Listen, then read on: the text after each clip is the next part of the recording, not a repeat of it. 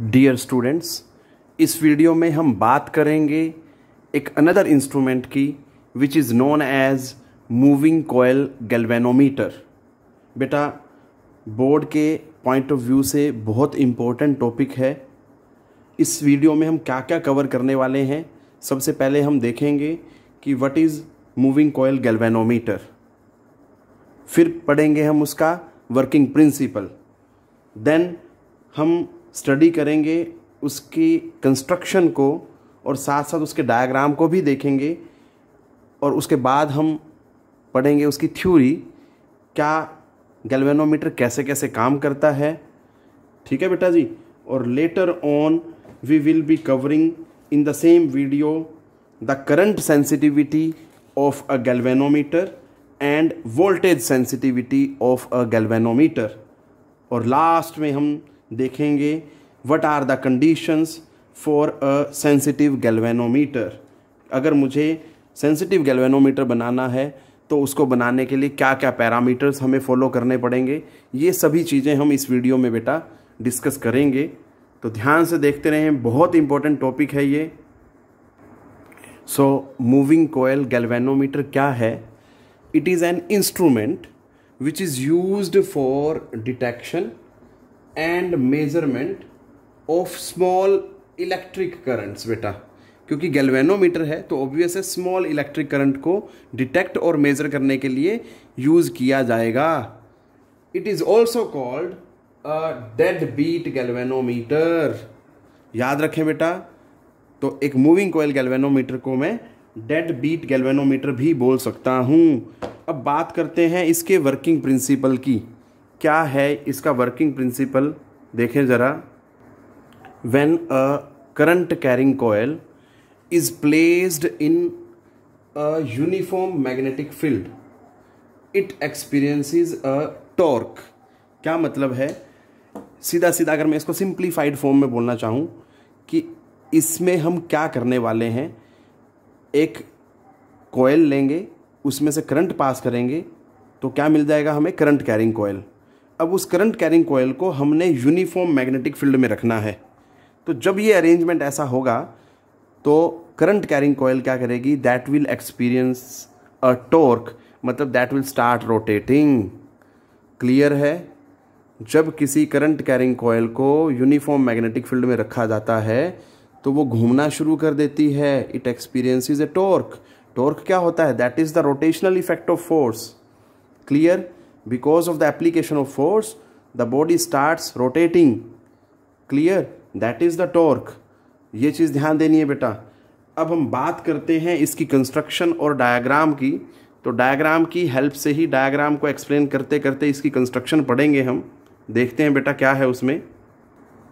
बेटा, अब हम कंस्ट्रक्शन को समझेंगे with the help of the diagram क्या होता है? बेटा, जो मूविंग कोयल गैल्वेनोमीटर है that consist of a coil coil क्या है? एम एन ओ पी ठीक है बेटा? जिसमें लार्ज नंबर ऑफ़ टर्न्स हैं। आप देख सकते हैं। It has large number of turns clear है? और ये जो टर्न्स हैं that is of insulated copper wire अब ये जो कोयल है बेटा, ये वाली M N O P that is wound over a non magnetic metallic frame ये वाला। ये जो है नॉन मैग्नेटिक है मेटल का फ्रेम है। मतलब ऐसे मेटल का फ्रेम है which is non magnetic in nature clear अब ये जो फ्रेम है दिस कैन बी रेक्टेंगुलर और सर्कुलर इन शेप मैंने यहाँ जो बनाया that is rectangular in shape अगर ये चीज़ ध्यान देनी है, अगर बेटा ये जो नॉन मैग्नेटिक मेटालिक फ्रेम है अगर ये रेक्टेंगुलर है तो इसकी जो कोर होगी दैट विल बी सिलिंड्रिकल जैसा मैंने यहाँ बनाया तो यहाँ पे जो मैंने कोर बना दी दैट इज़ सिलिंड्रिकल ठीक है? अगर यही instead of rectangular non magnetic metallic frame if I take the spherical sorry circular non magnetic metallic frame लूँगा शेप में वो देखो सर्कल और स्फीयर में डिफरेंस नहीं कर पाएँगे आप देख के। तो जैसे ये रेक्टेंगुलर है, वैसे ही वो क्या होगा? सर्कुलर होगा। तो सर्कुलर के अंदर क्या आएगा? कोर जो होगा दैट विल बी स्फेरिकल ये चीज़ ध्यान देनी है बेटा। अगर ये पार्ट जो है रेक्टेंगुलर है नॉन मैग्नेटिक मेटालिक फ्रेम है तो जो अंदर वाला पार्ट है core that is cylindrical but अगर यही चीज़ instead of non rectangular non magnetic metallic frame यही चीज़ सर्कुलर हो जाए तो सेंटर में कोर में क्या आएगा? स्फेरिकल ठीक है बेटा? तो ये चीज़ ध्यान देनी है। अब जो कोयल है that this coil M N O P that is suspended from a movable torsion head that is H this इसको क्या बोल रहा है? मूवेबल टोर्जन हेड एक्चुअली यहाँ पे क्या होता है? एक होल होता है। उस होल में से वायर जाती है और ये यहाँ से ऐसे बाहर आती है। ठीक है जी? Clear with the help of अब ये जो है एम एन ओ पी को इसके साथ किसकी हेल्प से लटकाया गया है? With the help of the phosphor bronze strip मतलब ये जो यहाँ से लेके यहाँ तक की जो वायर है that is made up of phosphor bronze strip clear the lower end of the coil is connected to one end of a hair spring that is S dash देखो लोअर एंड मतलब ये तो starting होगी यहाँ से ऐसे। M N O P इस तरह से चलते चलते चलते चलते ये लोअर एंड है, ये वाला। तो लोअर एंड जो है इस कोयल का, वो किससे कनेक्टेड है? एक हेयर स्प्रिंग से। उसको स्प्रिंग को क्या बोला गया? दैट इज़ एस डैश और ये अगेन जो है it is made up of phosphor bronze and the other end जो है अदर एंड मतलब ये वाला एंड किससे कनेक्टेड है? That is connected to T two कैसे? यहाँ से ये गए फॉस्फर ब्रॉन्ज की स्ट्रिप यहाँ तक गई। और ये आगे कहाँ चला गया बेटा? इसकी बात करें तो दैट इज़ टी वन और अगर इसकी बात करें, ये जो फॉस्फर ब्रॉन्ज स्ट्रिप है, ये आगे चलते हुए, यहाँ से होते हुए टी टू टर्मिनल से कनेक्टेड है। ठीक है बेटा? मतलब सीधी सीधी बात अगर ध्यान दें कि जो लोअर एंड है, वो एस डैश से होते हुए टी टू से कनेक्टेड है और अपर एंड की बात करें, वो फॉस्फर ब्रॉन्ज स्ट्रिप से होते हुए टर्मिनल टी वन से कनेक्टेड है। अब ये क्या है? दिस एम डैश ये एम डैश जो है बेटा, ये जो है दैट इज़ कनकेव मिरर क्या है ये? मिरर है, जिसकी हेल्प से हम ट्विस्ट जो प्रोड्यूस होता है कोयल में दैट कैन बी नोटिस्ड इस तरह से जो ट्विस्ट होगा that can be noticed clear है? ये चीज़ ध्यान देनी है। अब सबसे मेन चीज़ जो मैं बताना चाह रहा हूँ, कहते हैं जो कोर है, ये वाली कोर ठीक है? That is held within the coil in such a way that the coil can rotate freely without touching the core and the pole pieces, ये वाले पोल पीसेस ये नॉर्थ और साउथ ये नॉर्थ पोल ये south पोल ठीक है बेटा? मतलब जब ये कोयल जो है ना एम एन ओ पी घूमेगी तो ना तो वो इसको टच करेगी, ना ही वो इन पोल पीसेस को टच करेगी। इन्हीं के बीच में, जैसे ये है नॉर्थ और साउथ इनके बीच में घूमेगी without touching this part clear है? ये चीज़ ध्यान देनी है आपने। इससे क्या होता है? This makes the field to be the radial field अब रेडियल फ़ील्ड का मतलब क्या है? एक्चुअली जब फ़ील्ड रेडियल हो जाता है तो जो टोर्क होता है या जो rotational effect of the coil है within the magnetic field वो मैक्सिमम हो जाता है। वो क्या हो जाता है? मैक्सिमम क्लियर है? ये चीज़ ध्यान देनी है। ये हमने जानबूझ के इस तरह से अरेंजमेंट किया हुआ है, ताकि जो फ़ील्ड है वो रेडियल हो जाए और रेडियल फ़ील्ड की कंडीशन में टॉर्क जो है वो मैक्सिमम हो जाए। This whole arrangement is enclose in a non metallic non metallic बेटा केस होता है एक, ताकि हम एयर की वजह से जो डिस्टरबेंस है, उसको रोक सकें। ठीक है जी? ये वाला दिस वन ये सारा this whole is known as the non metallic case ताकि एयर की वजह से अगर कोई डिस्टरबेंस है तो वो डिस्टरबेंस ना हो। This was all about the construction बेटा। अब हम बात करते हैं थ्योरी की। ठीक है बेटा? सो so, थ्योरी में देखते हैं क्या होता है। सबसे पहले अगर हम देखें तो देखो बेटा जी let length of M N and O P वो हमने मान लिया एल और ब्रेड्थ जो है एन ओ और पी एम की क्या मान ली? बी और एन जो है नंबर ऑफ़ टर्न्स है इन द कोयल क्लियर है? जो एम एन ओ पी हमने कोयल ली है, उसमें कितने नंबर ऑफ़ टर्न्स हैं? दैट इज़ एन अब बात करते हैं एरिया ऑफ़ ईच टर्न क्या होगा? तो हर एक टर्न जो है रेक्टेंगुलर है तो बेटा रेक्टेंगल का एरिया क्या होता है? लेंथ इनटू ब्रेथ तो ये जो आया आपके पास एरिया ऑफ़ ईच टर्न आया बेटा। अब वो क्या कहना चाहता है कि जब रेक्टेंगुलर करंट कैरिंग कोयल को मैग्नेटिक फ़ील्ड में रखा जाता है, ऐसे ये magnet north south north south इसके बीच में जब रेक्टेंगुलर करंट कैरिंग कोयल को रखा जाता है तो वो एक टॉर्क एक्सपीरियंस करती है, जैसा कि उसका प्रिंसिपल है। ठीक है जी? और मैग्नीट्यूड ऑफ़ टॉर्क क्या होता है? हमने एक वीडियो मैंने इस टॉपिक पे भी डाली हुई है और टॉपिक का नाम क्या था बेटा?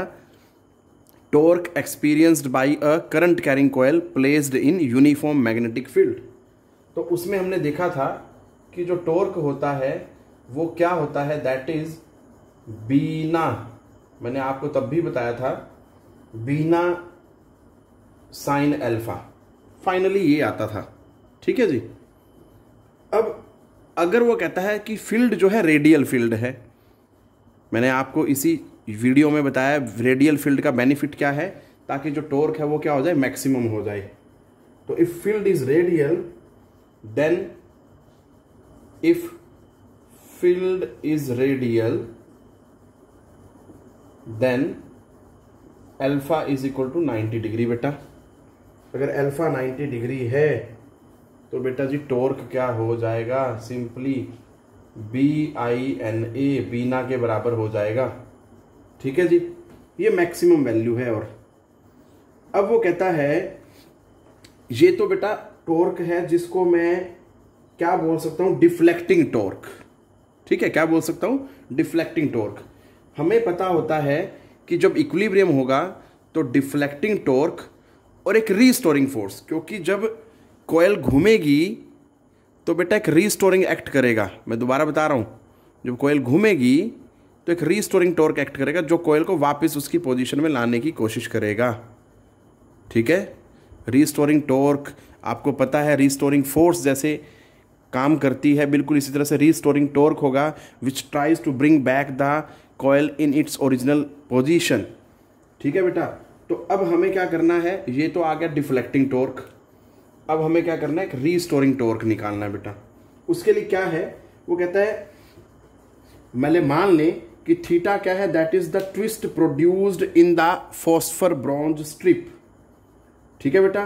Due to rotation of the coil क्योंकि कोयल ये है और इसके ऊपर ऐसे स्ट्रिप लगी हुई है, इस तरह से।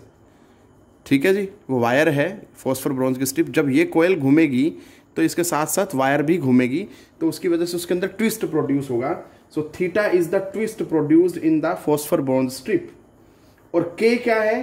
K is the restoring torque per unit twist clear है? अगर बेटा K restoring torque per unit twist है और theta is the total twist तो बेटा टोटल रीस्टोरिंग टॉर्क क्या हो जाएगा?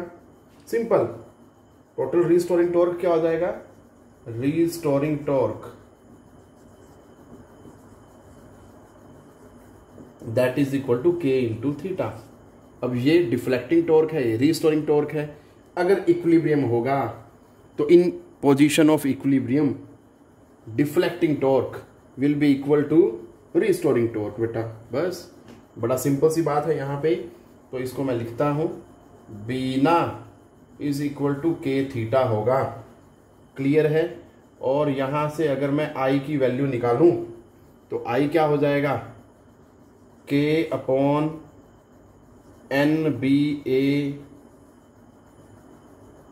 that is K upon N B A और यहाँ पे थीटा बेटा इसके साथ। ठीक है? इसको अगर मैं थोड़ा सा यहाँ पे दूर करके लिखूं तो मैं इजीली बता सकता हूँ कि ये जो के है बेटा that is the restoring torque per unit twist मतलब ये कांस्टेंट है। एन नंबर ऑफ़ टर्न्स ये भी कांस्टेंट है। बी मैग्नेटिक फ़ील्ड अप्लाइड वो भी कांस्टेंट है। A area of each turn that is also a constant so this whole arrangement ये सारी क्या है? दैट इज़ कांस्टेंट और इसको मैं क्या लिख सकता हूँ? I is equal to G theta तो जी हेयर जो है दैट इज़ कांस्टेंट जी को क्या बोलते हैं?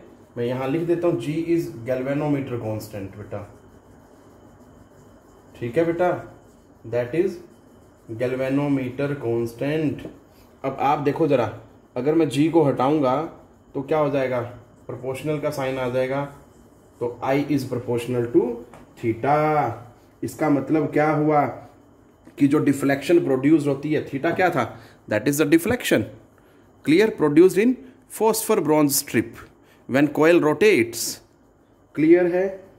So the deflection produce is proportional to the current flowing through the galvanometer जितना करंट फ्लो होगा, ठीक है, उसी के प्रोपोर्शनल क्या होगा? डिफ्लेक्शन प्रोड्यूस्ड होगी। This was all about the theory of the moving coil galvanometer बेटा जी। ठीक है? अब बात करते हैं हम various types of sensitivities of galvanometer उसमें सबसे पहला नंबर आता है that is the current sensitivity so देखते हैं, क्या है current sensitive so current sensitivity क्या है बेटा? It is defined as the deflection produced in the galvanometer when a unit current flows through it मतलब अगर मैं सिंप्लीफाई फॉर्म में लिखना चाहूँ इसको या मैथमेटिकल फॉर्म में सो करंट सेंसिटिविटी को बेटा आई एस से लिखते हैं। That is defined as the deflection produced in the galvanometer and that is by theta when a unit current मतलब डिफ्लेक्शन पर यूनिट करंट है बेटा बेसिकली ये चीज़ आ जाएगी। ठीक है बेटा? ये ध्यान देना है आपने। अब अगर मैं इसको और सिंप्लीफाई करूँ तो क्या मिलता है? ये तो सिंपल सा फॉर्मूला लिख दिया मैंने। बट अगर इसको सिंप्लीफाई करें तो आगे देखते हैं बेटा क्या होता है। थीटा की वैल्यू क्या होती है? दैट इज़ बीना बाई के बीना बाय में के और I as it is I से आई कैंसल तो N B A by K so this is expression for current sensitivity बेटा जी। ठीक है? दिस वन इज़ ए थोड़ा ध्यान से देखें। So N B A by K अब बात करते हैं इसकी यूनिट की। तो बेटा सीधा सीधा दिख रहा है मेरे को। ये theta theta is the angle और एंगल के लिए क्या होता है? रेडियन और ये करंट करंट क्या होता है? एम्पियर तो जो यूनिट होगी unit of current sensitivity unit of is is, that is radian second inverse. Oh sorry radian ampere inverse clear है बेटा? ये बात याद रखें, मैं दोबारा रिपीट कर देता हूँ। यूनिट क्या है? आई एस की that is the radian ampere inverse गलती से सेकंड इनवर्स भूल गया था। ठीक है बेटा जी? So this one is radian ampere inverse आप डॉट ना लगाएँ, ठीक है?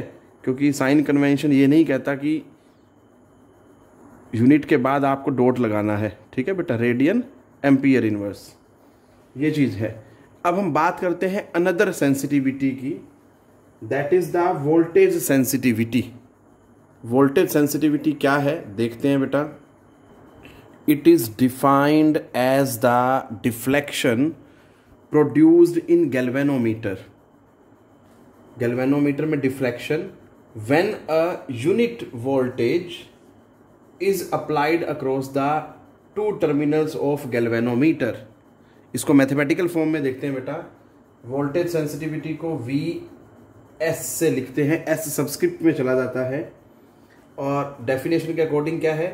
That is defined as the deflection produced in galvanometer वो थीटा से इंडिकेट करते हैं वेन ए यूनिट करंट मतलब per unit voltage sorry unit voltage is applied तो पर यूनिट वोल्टेज पे मतलब थीटा बाई वी है, और हमें पता है जो डिफ्लेक्शन है बेटा थीटा उसका फॉर्मूला क्या है? दैट इज़ बीना बाई के ठीक है? क्लियर है? और v की वैल्यू क्या होती है? I इंटू आर होती है बेटा। I से i कैंसिल हो जाएगा। तो क्या बन जाएगा simply N B A by में k इंटू आर ठीक है जी?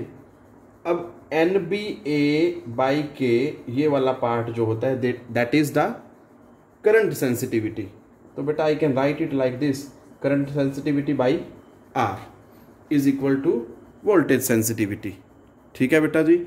अब बात करते हैं इसकी यूनिट की। तो unit of voltage sensitivity is बिल्कुल सेम जैसे पहले था। पहले रेडियन एम्पियर इनवर्स था। अब यहाँ पे क्या आ जाएगा? रेडियन वोल्ट इनवर्स ठीक है बेटा जी? ये चीज़ ध्यान देनी है आपने। ये इसकी यूनिट बन जाएगी रेडियन वोल्ट इनवर्स अब बात करते हैं नेक्स्ट टॉपिक की, जो इसी में आगे कवर करने जा रहा हूँ मैं that is conditions for a sensitive galvanometer तो इसमें हम देखेंगे कि सेंसिटिवनेस से क्या मतलब है, कब किसी गैल्वेनोमीटर को सेंसिटिव बोला जाता है, और क्या क्या उसकी कंडीशंस है बेटा। A galvanometer is set to be very sensitive if it shows large deflection मतलब थीटा जो है बहुत ज़्यादा हो जाए when a small current is pass through it कहने का मतलब यह है कि थोड़ा सा भी करंट फ्लो करे और गैल्वेनोमीटर ज़्यादा डिफ्लेक्शन शो करने लगे बेटा। ठीक है? तब हम बोलते हैं कि जो गैल्वेनोमीटर है दैट इज़ मोर सेंसिटिव या वेरी सेंसिटिव बेटा। हमें पता है कि के थीटा जो होता है that is equal to B I N A यहाँ से देखें theta theta is the deflection तो वो किसके बराबर आती है? बीना बाई के। क्लियर है? अब हमें क्या करना है? वो कहते हैं for a given value of I I की वैल्यू गिवन है आपके लिए। थीटा हमें ज़्यादा चाहिए, क्योंकि उसने बोला है कि भैया, जो लार्ज डिफ्लेक्शन शो करे when a small current is pass through it it means for the given value of I theta will be large ये ज़्यादा होगा। बट कब कब होगा? उसके पीछे कुछ कंडीशंस हैं, देखनी है हमें, कब है तो वो देखेंगे बेटा। इफ़ मैंने बोल रहा हूँ, दोबारा रिपीट कर रहा हूँ सेंटेंस को। For the given value of I theta will be large if अब वो आगे इफ़ क्या है क्या क्या कंडीशंस हैं तो यहाँ पे देखने पे पता लग रहा है। लार्ज डिफ्लेक्शन चाहिए तो उसके लिए क्या चाहिए बेटा? बी लार्ज चाहिए एन लार्ज चाहिए ए लार्ज चाहिए। जबकि के क्या होना चाहिए? कम होना चाहिए। ठीक है बेटा? तो अब इन्हीं फैक्टर्स को हम स्टडी करेंगे वन बाय वन तो क्या होता है? देखते हैं बेटा। For large value of theta so बेटा for given value of K I theta should be large तो लार्ज होने के लिए क्या क्या चीज़ें चाहिए? सबसे पहले हम बात करते हैं एन की। ठीक है? तो एन जैसे कि न्यूमरेटर में है तो it must be large but उसकी क्या लिमिटेशन है? The value of N can not be increase beyond a certain limit ऐसा क्यों है? अगर एन की वैल्यू बढ़ा देंगे, हम नंबर ऑफ़ टर्न्स बढ़ा देंगे तो that will result in an increase of the resistance of the galvanometer और उससे और क्या होगा? नंबर ऑफ़ टर्न्स बढ़ जाएँगे तो गैल्वेनोमीटर क्या हो जाएगा? बल्कि हो जाएगा बेटा, जिससे सेंसिटिविटी क्या हो जाएगी? डिक्रीज हो जाएगी। या मैं बोलूँ कि सेंसिटिविटी कम हो जाएगी। उसके बाद बात करते हैं एन हमने डिस्कस कर लिया। अब बात करते हैं बी की। न्यूमरेटर में है, ठीक है जी? ज़्यादा होना चाहिए। बट उसको ज़्यादा करने के लिए क्या है? The value of B can be increase by using a horse shoe magnet horse shoe magnet use करना है बेटा हमने। ठीक है बेटा? उसकी हेल्प से बी को बढ़ाया जा सकता है।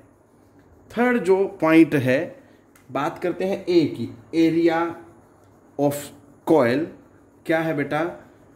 वो ये कह रहा है कि देखो, ये न्यूमरेटर में है। ये भी मैक्सिमम होना चाहिए। बट एक हमारी लिमिटेशन है कि कितना एरिया हम कर सकते हैं। ठीक है बेटा? क्योंकि हमने उसको कंटेनर में इनक्लोज करना है। तो उसके लिए हमें जो है, हमारी लिमिटेशन है that value of A can not be increase beyond a limit clear है बेटा?